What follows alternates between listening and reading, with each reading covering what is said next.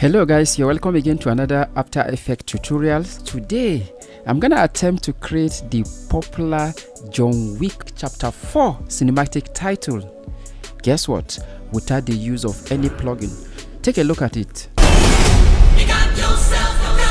And this is what we are going to attempt to create.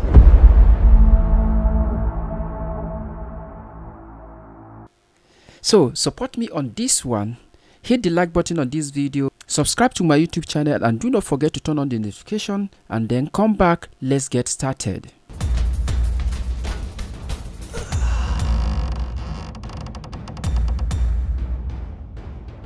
Create a new composition. Name your composition I'm going to be using 1920 by 1080 for the resolution. I'm going to set the frame rate to 30 frame per seconds and then I'm going to leave this total duration to 10 seconds. Then hit OK. Right click on your timeline, go to new, then add a new text layer.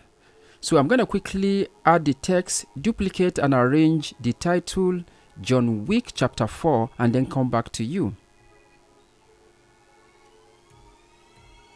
Select all the text layer, right click on them and then pre-compose. Make sure you select move all attributes to the new composition and name this title. The beauty of this technique is that you can always come back, change the text and use it for another film if you want to. So if you are interested in having the template or the project file from this tutorial, please leave me a comment in the comment section and I will send you a link to download the project file and you can use it for personal use or commercial use. Guys, go to effect and preset and look for the gradient ramp select it and add it to the new text uh, composition and then set your colors. I'm gonna move these points around to determine where the ramp start and where the ramp end.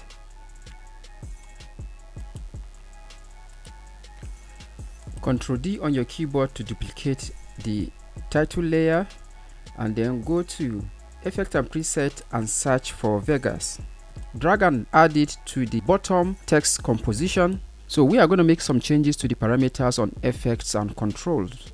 Under the image contour, set channel to alpha. Under segments, make the segments 1. Under the rendering, set the blend mode to transparent. Change the color to a very warm color. And set width to 2. Set hardness to 1. Set start opacity to 1 and midpoint opacity to 0.5 and end opacity to 0.280. Duplicate the title layer again. Then select the bottom one and change the color to a gray color. Then set width to 4 right click on your timeline go to new and then add a null object. Move the anchor point to center and align this to center. Move it to the top of the layer hierarchy and select all the three compositions and make it a child of the null object. Now hit enter key on your keyboard to rename this title control Select the null object, hit S on your keyboard to reveal the scale property. We're going to animate this from 130 to 100 forward in time. Actually, the total time we're going to be needing for the entire animation is 6 seconds. So I'm going to move my time indicator to 6 seconds forward in time and then hit N on my keyboard to set that limit.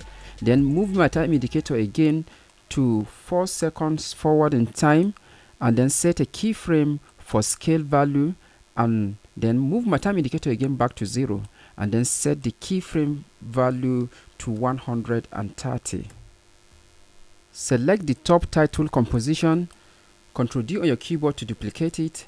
Then we are going to make some changes to the ramp color switch this to effects and controls and then make the ramp color lighter gray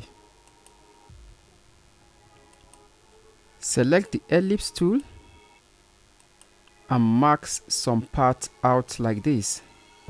select the layer hit F on your keyboard to reveal the feather property of the mask and set the feather to 10 now we're going to expand these uh, properties again and then keyframe the mask position.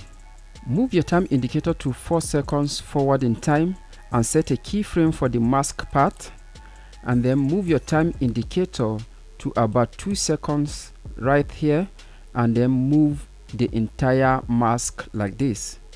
Hit U on your keyboard to reveal the keyframes. Select the keyframes right click on them to easy ease. This will make it have the 3d feel and light coming through it as it animates backward. I'm gonna stretch out the keyframe so that this happens slowly if you collapse all options we now have four duplicated title composition. So select the second one from the top and Ctrl D on your keyboard to duplicate it again. Then go to your effect and preset and then search for light sweep. Select the CC light sweep and drag and drop it onto newly duplicated uh, title composition. Set the color to something very warm set the width to 200 set sweep intensity to 63 now we need to animate the direction of the light sweep. So move your time indicator to about 5 seconds forward in time. Set a keyframe for the center and pick this and position it to this point. Then move your time indicator to about 3 seconds forward in time and then move the position again to outside this. Hit U on your keyboard to reveal the keyframes select them and then easy ease if you preview this now this is what you have. On the FX and control panel, select the CC light sweep again, Ctrl D on your keyboard to duplicate the effect and change the direction to 100. Select the CC light sweep and change the position. Then move to the second keyframes. Move the knob again outside like this. At this point, we need to create a background for our animation to make this entire animation pop.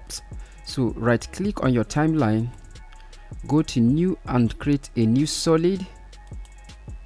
Set the solid color to black and name it BG select the BG layer, Ctrl D to duplicate it. So let's create that warm look of the background. Now go to effects and then select the optical lens flare. Hit the options right here. Select one of these flares right here.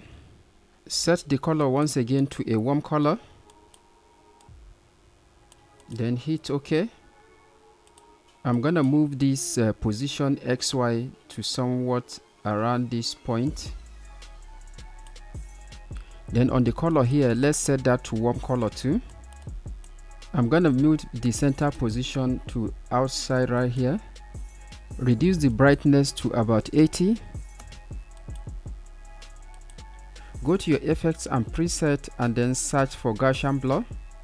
Select drag and drop it to into the flare and set the blurriness to about 50 select the top layer right click on your timeline and go to new and create a new adjustment layer. Now go to effect and preset again and search for curve.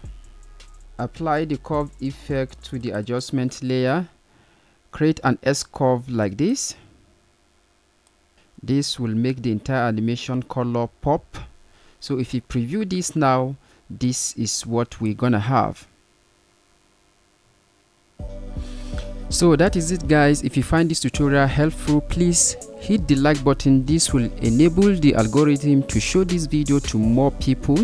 Until i see you again on the next one my name is ssb otaru for MotionDigit Studios